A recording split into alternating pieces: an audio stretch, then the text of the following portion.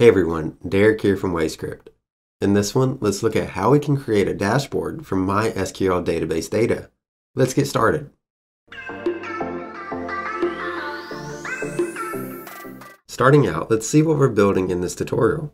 We have a dashboard here that is pulling numbers from a MySQL database, doing calculations on those numbers, and then providing us a URL endpoint that anyone can go to to access this information.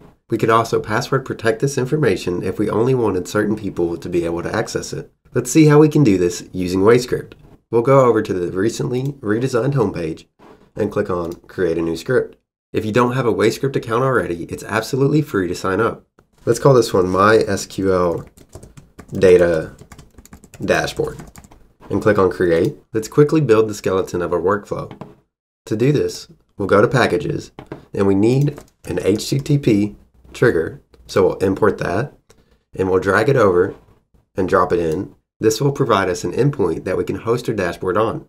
Next, we need a MySQL module. So we'll drag it in and drop it next in our workflow. This will be how we connect our database to WayScript and get the data from our MySQL database. Next, let's use Python to do analysis on that data so we can get the statistics such as the standard deviation, the mins and maxes. And to host these on a dashboard, we need a dashboard response. So we'll go and import the dashboard response and drag it in as the last step in our workflow. Now let's build this out. To connect our database, we need to select the database that we want to use. I'll be using this one, and if you need help connecting your own database, I have a video dedicated to that. I'll be sure to link that in the description of this video. But for now, we'll click on the database I want to use and we'll run a query to get all the data that we need. I'm selecting all the data from my table of survey and we'll click on run code. Let's say that the information I want are these scores here. So we'll import that column. We'll import it as scores list. Once we click off, we see that the variable at the bottom is updated with that name and has all the information from that column in our MySQL table called survey. Now that we have that information, let's use some Python code to process it. We'll click on Python and click on Edit Code. I've already typed up some Python code that we can use, and this will be hosted on our code snippets GitHub repository called MySQL Dashboard Vars. I'll be sure to link this in the description below as well.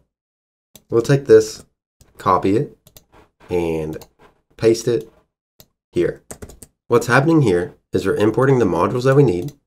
We're accessing the variable of scores underscore list. So we need to make sure that this name matches this one. That way we can use this information in our Python script and do some calculations on it.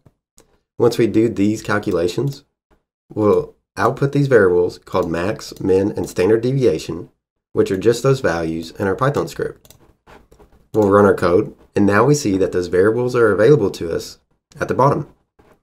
We'll click on Done Editing and go back to our workflow. Next, we can pass those variables to our dashboard response. We'll click on it, and let's change the names of each section. So we had a min. We'll input the value of min from our variables, and now that should display on our dashboard. We can have multiple responses, so we'll add those now. We'll drag those from the bottom into each of those blanks. Just like that, we've connected our data and done some processing on it to display it on a dashboard. Let's go back up to our HTTP trigger, turn it on by flipping on this switch, and then we'll go to this URL to see our result. And just like that, we see that we've connected our MySQL database data to a dashboard in just a few minutes. Next, let's see how we can build this chart on this one. I don't have any data for this, so we'll just use some dummy data. And we'll do that by creating a variable and dragging it into our workflow above our dashboard response. Let's create something like x-axis will be equal to a list of strings. We'll do January, February, March, and for our y-axis, let's say something like four random numbers. Once we have that, let's click off of it, and we'll go back to Packages, and import our charts package. We'll drag it in to our workflow under the create variable and let's make a line chart. We'll pull in our x-axis and our y-axis And now we should have a preview of this chart below. We can pass this chart, just like any other variable, to our dashboard response.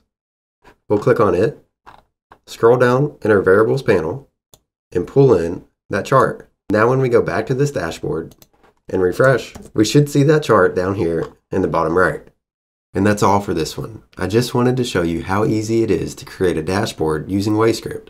Of course, you can have more complex calculations and pass those over, but in this one, I just wanted to focus mainly on setting it up.